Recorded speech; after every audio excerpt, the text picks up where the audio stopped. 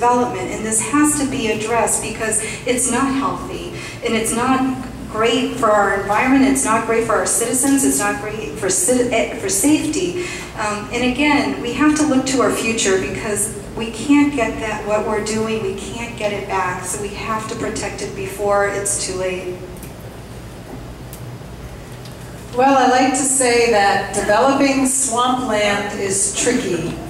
Overdeveloping swampland is dangerous. And this is what we have to look at here because the bottom line is all of Florida is a swamp. And for years, I mean, we, we, have, we have a history of destruction of habitat from the Corps of Engineers coming in in the early 20th century and digging canals and draining the land and all of this stuff to even our modern practice where we come in and everything we build we raise four feet, six feet, but we don't raise the land around us. So we really need to rethink our practices in development. That's the thing that concerns me the most. We are building an outdated style. We need to do something completely different. And as far as growth, growth is a mathematical equation. If you pay attention to the math, you have good growth. If you don't pay attention to the math, you get what we see in Sarasota today. 4,000 people move to Sarasota every year. Yet, right now on the books, and Lourdes, because she's on these numbers, she would know exactly how many, there are enough homes approved right now for the next 20 years of growth. And I know for sure that in 20 years, we are going to live in a different kind of house than we live in today. Technology changes, materials change. We need to be looking at the smartest ways to be building so that we really are creating a Sarasota for the future and not just allowing the development community to continue to build a type of home that only generates profit for them and does not secure the future and prosperity of our community and also protect the value of our property. I've got a yes-no question. I'm moving now to questions uh, that were submitted by our member organizations.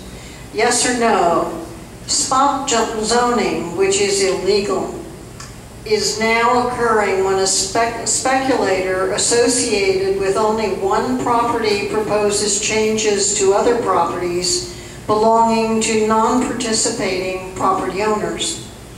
In other words, they're speaking up for other people who have parcels that are identified the same as theirs in order that it might appear not to be spot zoning.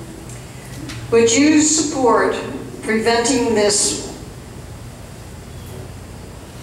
by requiring a representative proportion of those for which the change is being proposed and the neighborhoods adjacent to the non-participating properties to demonstrate their support for the changes in a very transparent and public process?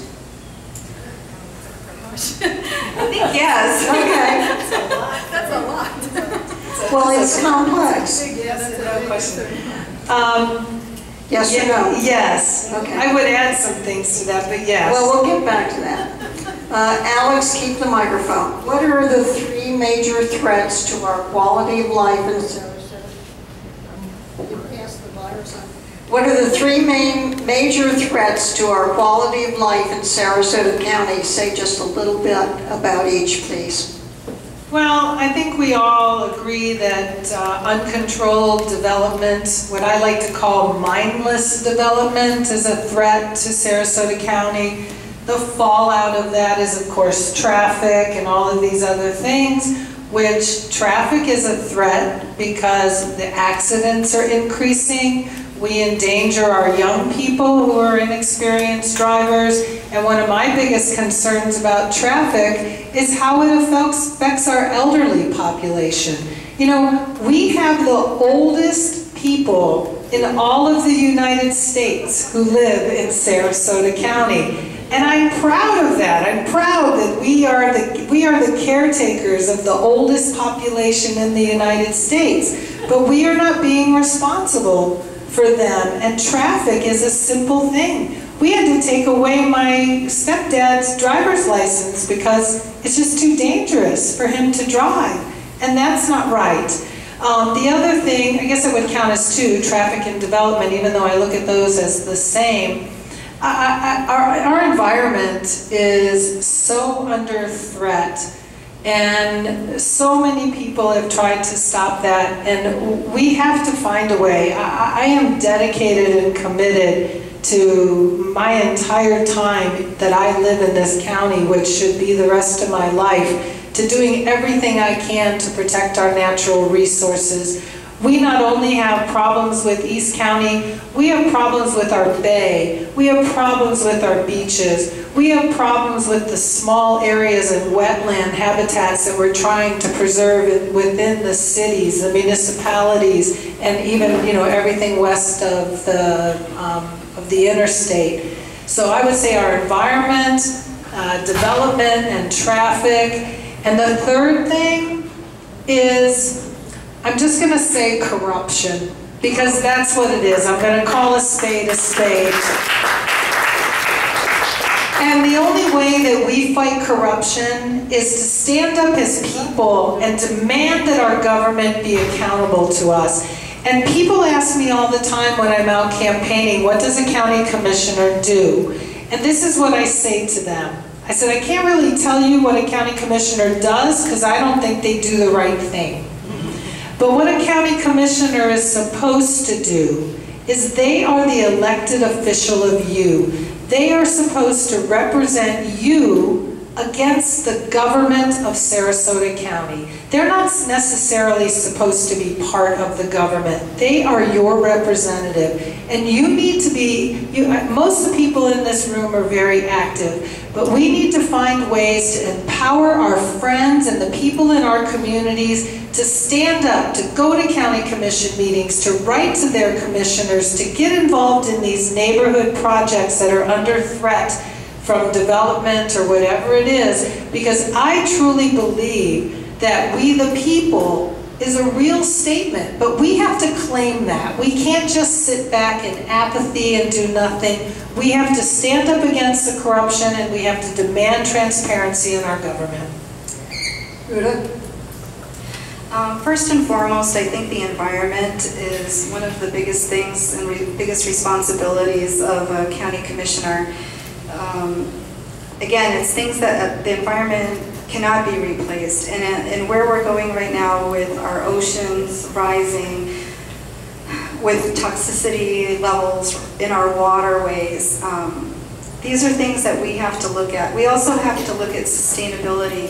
We have to start moving towards renewable energies and cleaning up our environment and cleaning up Sarasota um, and moving towards a greener environment for all of us. Um, along those lines of environmental protection is also infrastructure, and with that infrastructure, safety comes into play, and we are responsible for the safety of every, as a commissioner, they are responsible for the safety of every single citizen in Sarasota County. When you start disrupting roads or not having adequate access in and out, South County if you're down there in the Venice area, in the North Port area, they have roads that have two lanes in and out supporting thousands and thousands of people. God forbid a hurricane come, where will those people go and how will they get out? These are things that are critical to the commission to look at. They also have to look at shelters in case of storms. We, we had that horrific hurricane coming through and it got, thankfully it missed us. But we had people who are hundreds of years, 102 years old, were waiting to get into a shelter. They didn't have handicapped access. These are things that are critical to a community. The other thing that we have to look at as a commissioner are social services. Again, I co-founded this medical clinic. Saw, if you actually see what the needs are of this community for mental health, for regular health care. We have an opioid crisis that is growing. We don't have the mental health support in this area to even do that. We're wasting money on some projects with hundreds of thousands of dollars that should be going back into our services to service our community better. These are things that we have to fight for. And I also agree that we have to stop the corruption. When you look at the money trail and who's getting paid and who supports who, it's outrageous. It truly is outrageous. Every single citizen should be standing up and saying, enough is enough is enough. No more buying out our develop, our, our rights as citizens to developers. We have to stand up and say, we want to be heard. We don't want the developments. We don't want our roads torn up. We don't want our ocean and beaches destroyed. We want us to be taken care of. And we have a right to stand up and we deserve to have a voice on the commissioner's seat who's going to protect us and represent us in not special interest. What would you do to address sea level rise? I don't have a PhD in that, so it's going to be a little hard, but we have to take sea level rise seriously. We live in a coastal community. It's extremely frightening. Projections are by 2015, inches and inches are going to rise in Sarasota. Our sea coast is going to change. The coastlines are going to change. Right now, we're actually